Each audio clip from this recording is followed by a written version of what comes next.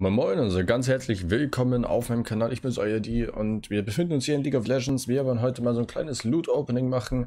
Elf Masterwork Chests und wir schauen einfach mal, was drin ist. Ich habe ein bisschen was spendiert, damit wir einfach mal schauen können, was befindet sich wirklich in diesem Masterwork Chest. Lohnt es sich, diese zu farmen oder zu kaufen? Und ja, jetzt wünsche ich euch viel Spaß und wir fangen direkt an mit der ersten Masterwork Chest.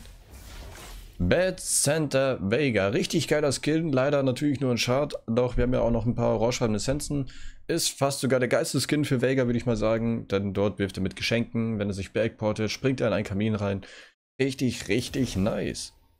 Okay, die nächste Truhe. Was befindet sich hier drin? Barbecue Leona Skin Chart. Ja, es ist nicht der geilste Skin. Passt natürlich gut zu mir als Koch, aber gibt Schöneres. Aber hey, Besser als gar nichts. Okay, die nächste Truhe.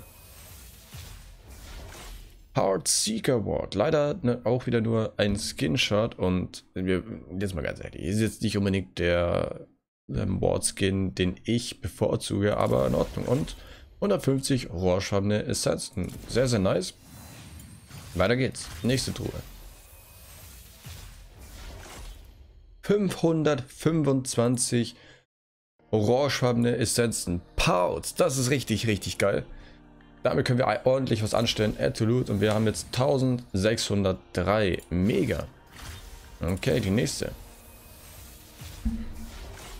Vindicator Raiden. Ja, zocke ich jetzt nicht unbedingt. Ich überlege vielleicht, nach mal, wenn ich mit den Supportern durch bin, mal ADC zu zocken. Doch Vayne steht jetzt eigentlich nicht unbedingt auf meiner Liste, aber besser als gar nichts.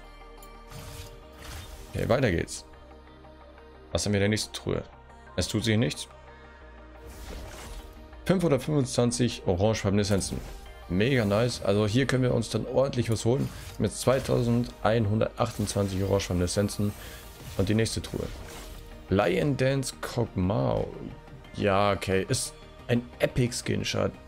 Richtig geil. Zocke ich leider nur nicht. Schade. Aber ein epischer Skin Shot.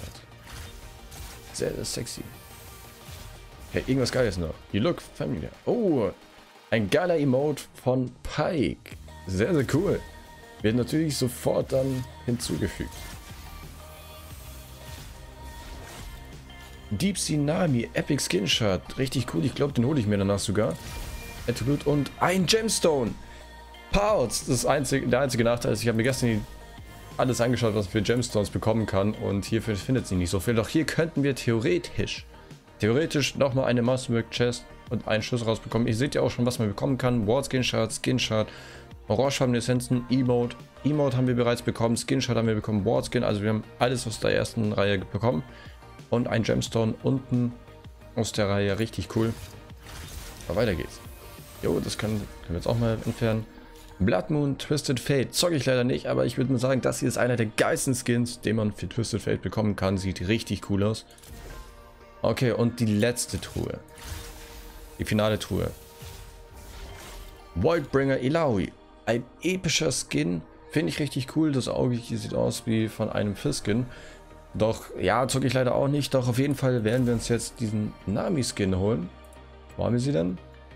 Ja, aber wo haben wir sie? Nami, Nami, Nami? Nein, das ist nicht Nami. Abmelden habe ich. Achso, Champion Down. Ich dachte jetzt schon.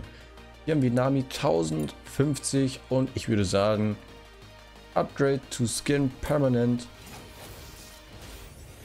Upgrade. Richtig chillig. Deep Sea Nami haben wir jetzt als Skin. Sieht bestimmt mega geil aus. Wir werden natürlich gleich mal bei den Skins vorbeischauen. Hat schon Style.